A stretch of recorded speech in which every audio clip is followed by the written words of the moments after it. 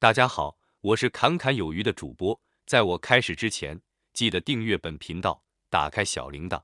这样我发布新内容时，你才能获得最新的节目通知。由于全球晶圆代工行业的利用率已经在2022年中期达到峰值水平，在供应链库存水平拐点到来之前，在当前市场低迷情况下，未来几季度，台积电的所有技术节点都将不可避免地受到影响。其中，七纳米和六纳米工艺首当其冲，因为该制程在智慧型手机和消费类个人电脑方面的集中度更高。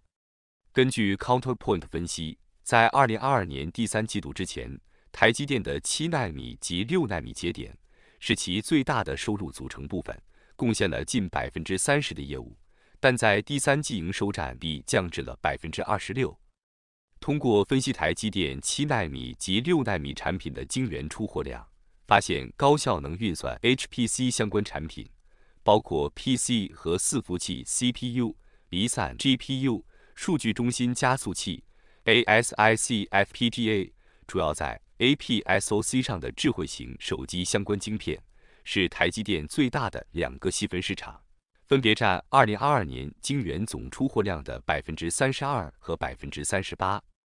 不过，在 5G 手机 AP 及 SoC 订单需求尚未恢复前，台积电未来二至三个季度的七纳米及六纳米产能利用率恐将滑落到百分之八十至百分之九十，直到包括 WiFi 及射频晶片、SSD 控制 IC 等新订单开始上量投片，利用率将有望明显回升。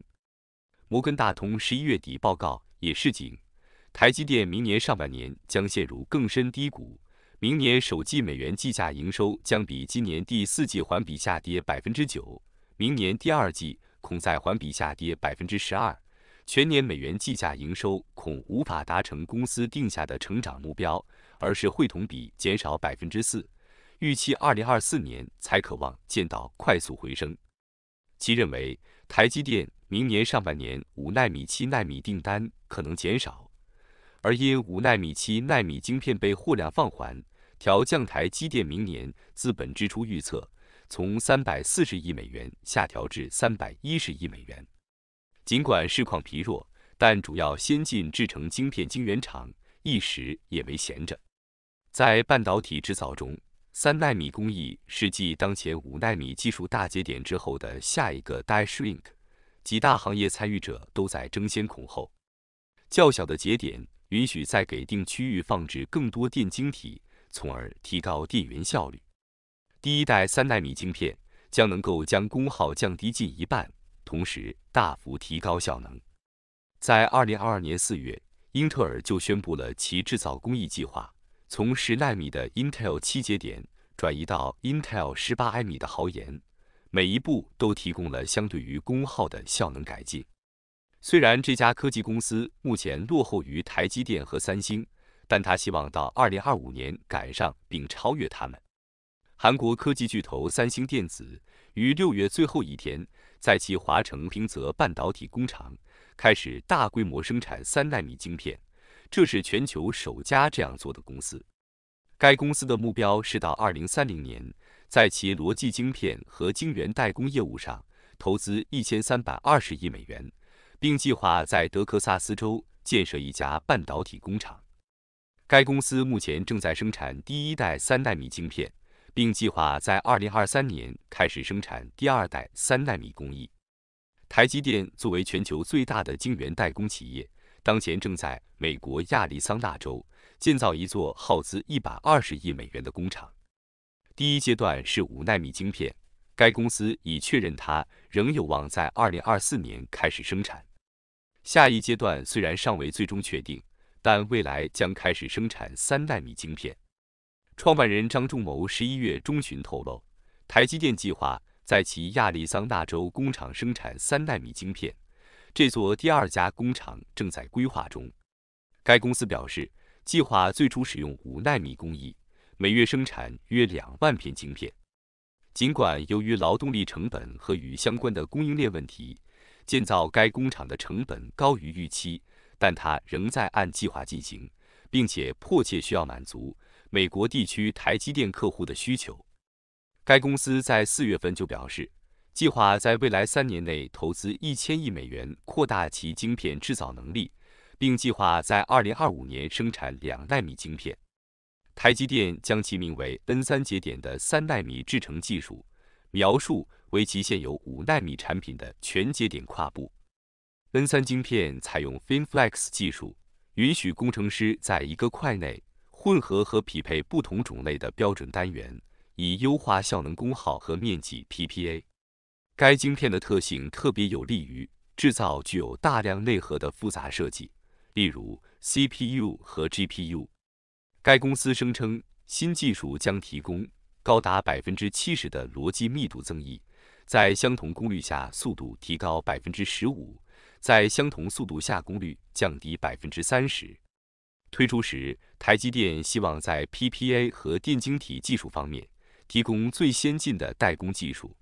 而 N 三技术可为行动和高效能运算 HPC 应用程式提供完整的平台支援。业内消息人士指出，这家全球最先进的晶片制造商正准备将其 N 三工艺节点的三纳米晶圆产品的价格。与五纳米晶圆产品相比，提高百分之二十五。而这么做的原因，或许是为其接下来最为先进的一纳米制程工艺做准备。十一月以来，不少媒体报道称，台积电准备开始建设其首个一纳米半导体生产设施。据估计，为执行其计划，台积电将在台湾新竹科学园区辖下的桃园龙潭园区。投资约三百二十亿美元。台积电已在该园区运营两家半导体封装和测试工厂。尽管台积电尚未证实或否认该报道，但可以肯定的是，他已确认将继续投资台湾的先进晶片制造。台积电选择龙潭，显然有许多非常充分的理由。它有一个广阔的科学园区，离新竹总部和研发中心相当近。三十分钟车程，也在距离桃园国际机场很近。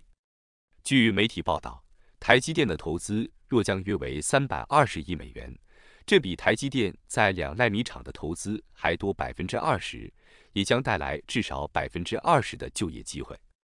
目前还无法确定这些成本和劳动力需求是由于新一纳米制造设施的固有性质。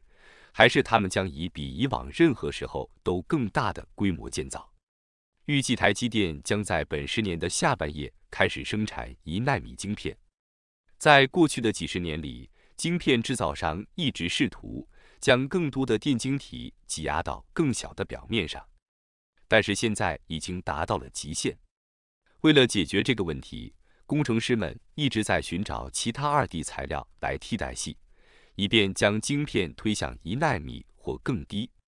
台积电与台湾大学 NTU 和麻省理工学院 MIT 一起在一纳米晶片的开发中稳步前进。该一纳米晶片的相关技术首先由麻省理工学院的团队做出，然后由台积电进行优化，并由南洋理工大学的电机工程与光学系改进。关键研究成果是使用半金属壁。作为接触电极，可以降低电阻并增加电流，这将把能源效率提高到半导体的最高水平。二零二一年五月，台积电发表了在一纳米晶片上取得突破的联合声明，业界认为这一声明胜过了 IBM 先前关于开发两纳米晶片的声明。在台积电计划进一步缩减其工艺节点技术时，据国外科技媒体 All About Circuits 报道。台积电将在其亚利桑那州晶片工厂生产三纳米晶片，几乎板上钉钉之外，还可能计划生产一纳米晶片。虽然一纳米晶片可能还没有准备好量产，但当它真的到来时，它将为电动汽车、人工智慧和其他技术带来进一步的节能和更高的速度。那么，本期影片到这里就结束了，感谢你的观看，期盼能与你产生共鸣。侃侃而谈，阔论有余。最后，请你点赞、订阅，这是对本频道最大的支持了，谢谢。